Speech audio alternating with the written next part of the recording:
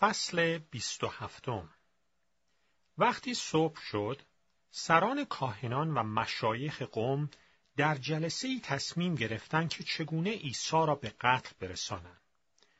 پس از آن او را دست بسته برده به پیلاتوس فرماندار رومی تحویل دادند. وقتی یهودای خائن دید که عیسی محکوم شده است، از کار خود پشیمان شد و سی سکه نقره را به سران کاهنان و مشایخ بازگردانید و گفت من گناه کردم که به یک مرد بیگناه خیانت کرده باعث مرگ او شدم. اما آنها گفتند دیگر به ما مربوط نیست خودت میدانی. پس او پولها را در معبد بزرگ روی زمین پرت کرد و بیرون رفته خود را با تناب خفه نمود. سران کاهنان پول را برداشته گفتند نمی شود این پول را به بیت المال معبد ریخ زیرا خونبهاست. بنابراین پس از مشورت آن را به مصرف خرید مزرعه کوزگر رسانیدند تا برای خارجی های مقیم اورشلیم گورستانی داشته باشند. به این دلیل آن زمین تا به امروز مزرعه خون خوانده می شود. و به این وسیله پیشگویی ارمیای نبی تحقق یافت که می‌گوید آنها آن سی سکه نقره یعنی قیمتی را که قوم اسرائیل برای او تعیین کرده بودند گرفتند و با آن مزرعه کوزگر را خریدند چنان که خداوند به من فرموده است. در این هنگام عیسی را به حضور فرماندار آوردند. فرماندار از او پرسید آیا تو پادشاه یهودیان هستی؟ عیسی فرمود همان است که می‌گویی ولی عیسی به اتهاماتی که سران کاهنان و مشایخ به او وارد می نمودن جوابی نمی‌داد.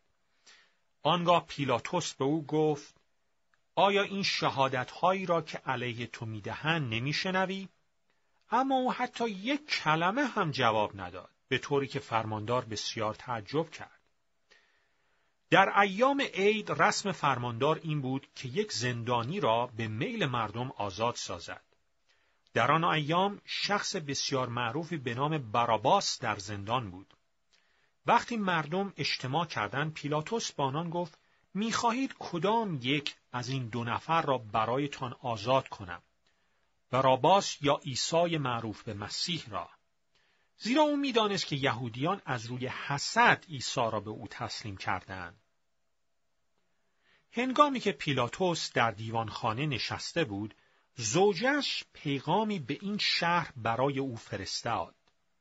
با آن مرد بیگناه کاری نداشته باش. من دیشب به خاطر او در خوابهایی که دیدم بسیار ناراحت بودم.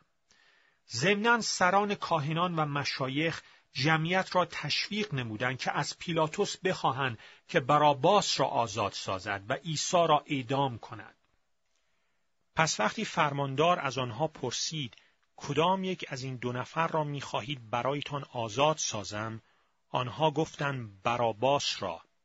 پیلاتوس پرسید پس با عیسی معروف به مسیح چه کنم؟ با آنان یک صدا گفتند مصلوبش کن. پیلاتوس سوال کرده گفت چرا؟ چه گناهی کرده است؟ اما آنان با فریادی بلندتر گفتند مصلوبش کن.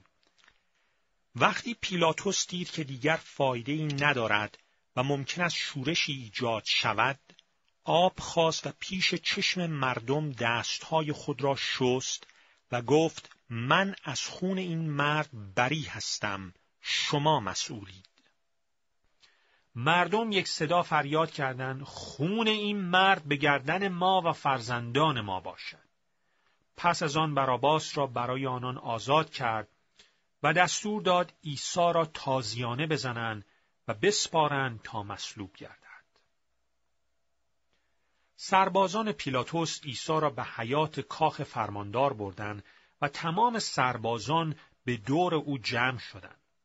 اول لباس عیسی را درآوردند و شنل ارغوانی رنگی را به او پوشانیدند و تاجی از خار بافته بر سرش نهادند و چوبی به دست او دادند و در برابر او زانو زده به تنه می‌گفتند درود بر پادشاه یهود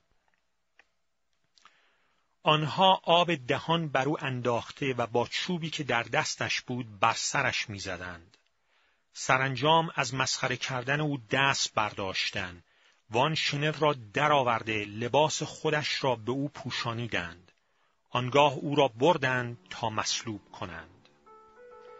در سر راه با مردی قیروانی به نام شمعون روبرو شدند و او را مجبور کردند که صلیب عیسی را حمل کند وقتی به محلی به نام جلجتا یعنی جمجمه رسیدند شراب آمیخته به داروی بیهوش کننده به او دادند اما وقتی آن را چشید نخواست بنوشد.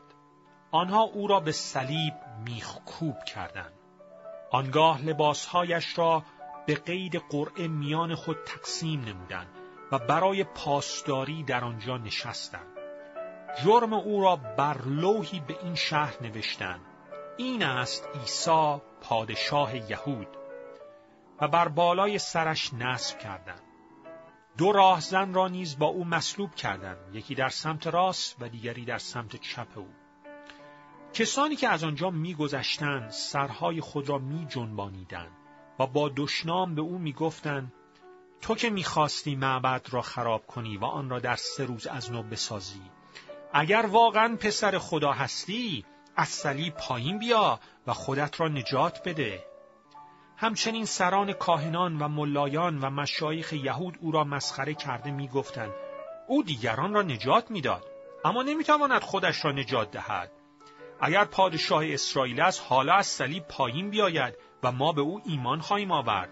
او به خدا توکل داشت و می گفت که فرزند خداست. پس اگر خدا او را دوست داشته باشد او را آزاد می سازد. حتی راهزنانی هم که با او مصلوب شده بودند همینطور به او توهین می کردن. از ظهر تا ساعت سه بعد از ظهر تاریکی تمام زمین را فرو گرفت. نزدیک ساعت سه عیسی با صدای بلند فریاد کرد. ایلی ایلی لما سبقتنی یعنی خدای من خدای من چرا مرا ترک کردی بعضی از کسانی که آنجا ایستاده بودند این را شنیده گفتند الیاس را می‌خواند یکی از آنان فورا دوید و اسفنجی را آورده در شراب ترشیه فرو برد و بر نوک چوبی قرار داده جلوی دهان عیسی برد. اما دیگران گفتند بگذارید ببینیم آیا الیاس میآید او را نجات دهد یا نه؟ عیسی بار دیگر فریاد بلندی کشید و جان سپرد.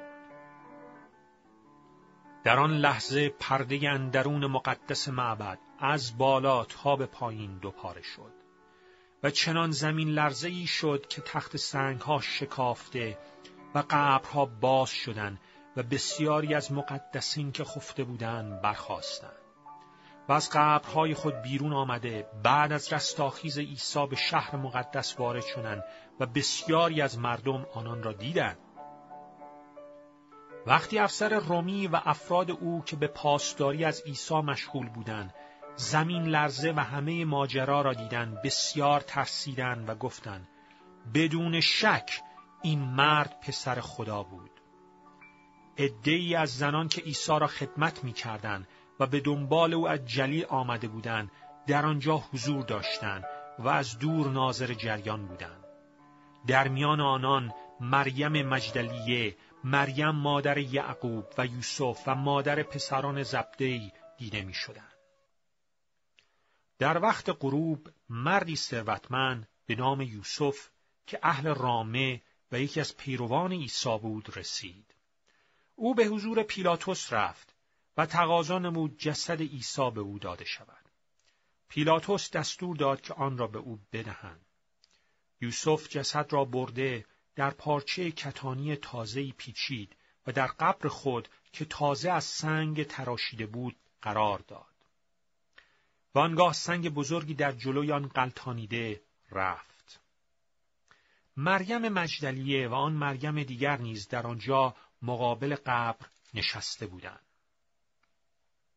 روز بعد یعنی صبح روز شنبه سران کاهنان و فریسیان به طور دست جمعی پیش پیلاتوس رفته گفتند آلی جناب ما به یاد داریم که آن گمراه کننده وقتی زنده بود گفت که من پس از سه روز از نو زنده خواهم شد. پس دستور بفرما تا روز سوم قبر تحت نظر باشد و الا امکان دارد شاگردان او بیایند و جسد او را بدزدند و آنگاه به مردم بگویند که او پس از مرگ زنده شده است و به این ترتیب در آخر کار مردم را بیشتر از اول فرید دهند.